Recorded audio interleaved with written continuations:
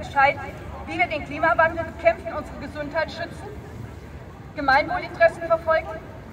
Oder sollen diese Gesetze weiterhin im Parlament verabschiedet und an ordentlichen Gerichten von Richtern vertreten werden, die sich an den Interessen aller Beteiligten orientieren? Es wird immer so getan, als ob sich durch CETA an unserem verfassten Recht nichts ändern würde. Und es wird darauf verwiesen, dass der Staat das Right to Regulate behält. Man braucht aber nicht lange zu spekulieren, was unter CETA wirklich passieren wird. Der Energiecharta-Vertrag zeigt dies bereits sehr genau.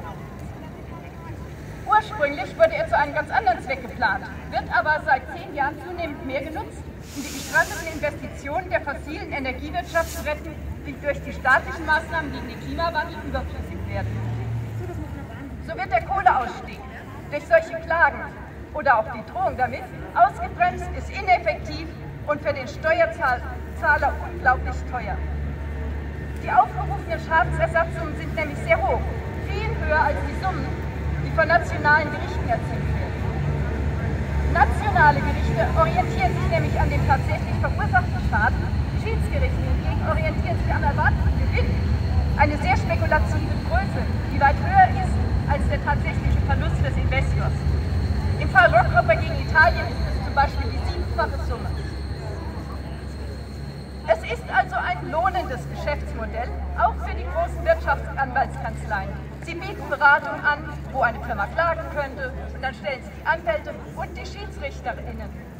Die Schiedsrichterinnen kommen nämlich nur aus diesem Kreis und das sind etwa bei jetzt ca. 50, äh 30 bis 50 Menschen zu die Recherche des Corporate Europe Observer.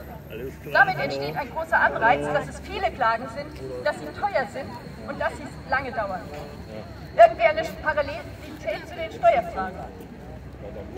Es gibt einige große weltweit operierende Kanzleien, die sich auch aktiv neue Geschäftsfelder suchen. Ein Beispiel.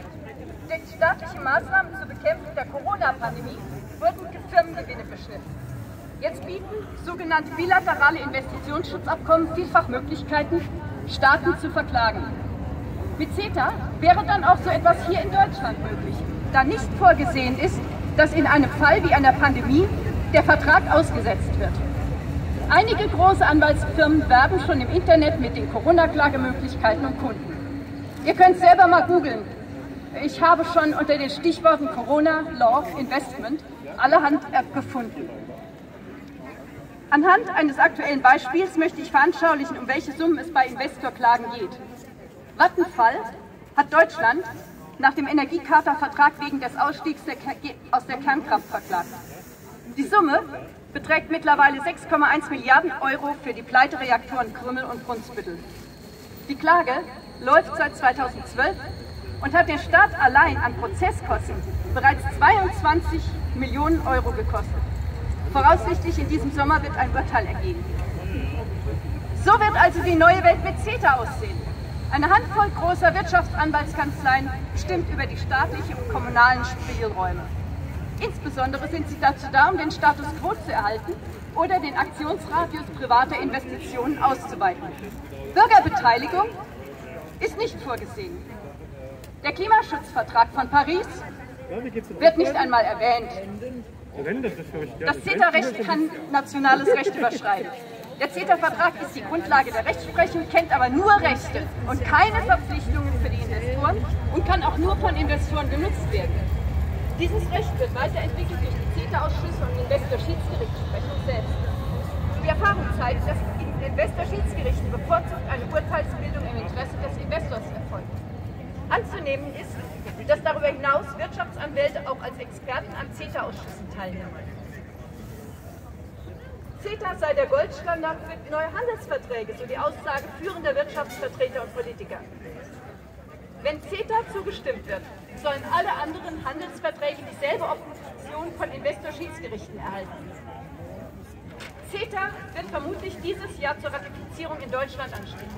Wenn ein großes Land wie Deutschland CETA nicht ratifiziert, wird es nicht durchsetzbar sein.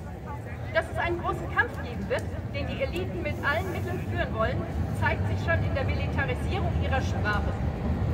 Die EU würde sich als zahnloser Tiger in der Welt zeigen, wenn sie es nicht einmal schafft, so etwas wie einen Handelsvertrag abzuschließen.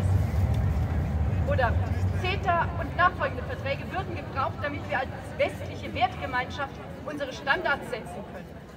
Oder ganz gleich, gleich ganz in militärischer Analogie. Wir brauchen eine Wirtschafts-NATO. Und CETA schneidet alle Bereiche, Klimaschutz, Umweltschutz, Arbeitnehmerschutz, öffentliche Daseinsvorsorge, Kultur. Ich komme auch zurück auf den Anfang meiner Rede, dass so viele Themen um die Aufmerksamkeit von Aktivisten buhlen. Mit CETA werden alle unsere anderen Anliegen torpediert. CETA und die damit verbundene Einführung von Investor-Schiedsgerichten wäre eine grundlegende Änderung der Spielregeln, ein Paradigmenmix, der es zukünftig der Zivilgesellschaft noch viel schwerer machen wird, mitzugestalten.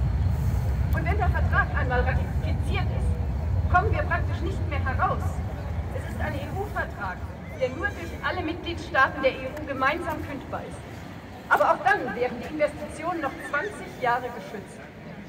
Im bürgerlichen Gesetzbuch würde man einen solchen Vertrag wohl schlicht sittenwidrig nennen. Wenn jetzt die Entscheidung CETA ansteht, müssen wir alle darum kämpfen, dass CETA und die Investorschiedsgerichte nicht ratifiziert werden. CETA würde alles, was wir durch unser zivilgesellschaftliches Engagement erreichen wollen, wie Umwelt- und Verbraucherschutz, Arbeitnehmerrechte für Kultur und Daseinsfürsorge, erschweren oder gleich ganz zunichte machen. Wehren wir uns alle jetzt. Im Augenblick laufen drei Online-Petitionen, die wichtig sind. Zum einen gibt es eine europaweite Petition zum Energiecharta-Vertrag, die von mehr als 20 Organisationen getragen wird. Zum anderen gibt es von den lokalen Bündnissen für gerechten Welthandel initiiert je eine Petition auf Change.org und auf Open Petition, die auf die Problematik von CETA und die Bedeutung der anstehenden Ratifizierung aufmerksam machen sollen. Bitte unterschreibt und verbreitet sie weiter. Hier gibt es Handzettel an dem Stand mit den Adressen. Beteiligt euch an Aktionen, informiert andere. Bringt CETA wieder in die Diskussion mit Abgeordneten, gerade jetzt in Wahlkampfzeiten und dann später auch bei Koalitionsverhandlungen. Vielen Dank.